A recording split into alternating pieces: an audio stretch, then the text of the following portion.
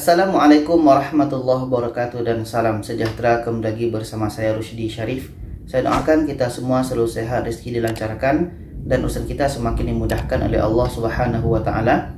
Amin ya Allah ya rabbal alamin. Jadi ini berkenaan dengan pintu masuk dari luar negeri ke Indonesia sudah ada dibuka beberapa tempat khususnya untuk bandara yang mana sudah ada penambahan berdasarkan surat Satgas nomor 7 tahun 2022 untuk bandara yang dibuka itu yaitunya Bandara Soekarno-Hatta Banten, Bandara Juanda Surabaya Jawa Timur, Bandara Ngurah Rai Bali, Bandara Hang Nadim Kepulauan Riau, Bandara Raja Haji Fisabilillah Kepulauan Riau, Bandara Samratulangi Sulawesi Utara, dan Bandara Zainuddin Abdul Majid Nusa Tenggara Barat. Jadi sekarang totalnya sudah ada tujuh bandara yang dibuka. Tapi yang jadi permasalahannya adalah apakah bandara yang baru dibuka ini seperti di Lombok, Bali, Juanda Surabaya apakah sudah stabil?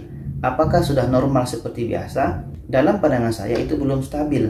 Karena bandara yang lebih dulu dibuka sebelum ini, Bandara Juanda Surabaya itu pun belum stabil.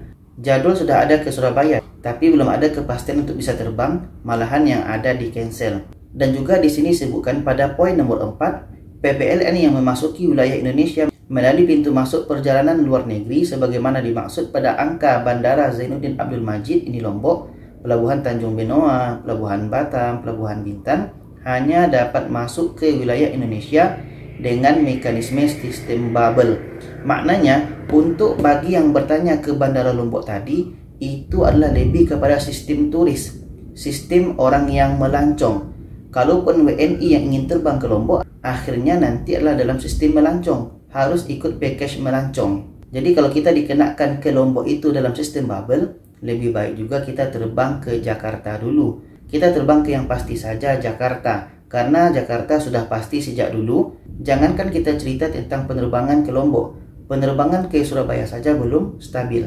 Jadi saran saya, tips saya kepada sahabat-sahabat yang ingin pulang kampung, untuk pulang itu pulang melalui tujuan yang pasti saja, yaitu terbang dulu ke Jakarta, setelah itu nanti dari Jakarta baru terbang ke daerah masing-masing. Karena nanti jangan di kemudian hari kita baru sadar bahwa penerbangan ke daerah kita itu belum stabil rupanya dan akhirnya dapat cancel lagi. Jadi itu saja semoga kita bisa pahami. Silahkan share kepada lainnya. Terima kasih. Wassalamualaikum warahmatullahi wabarakatuh.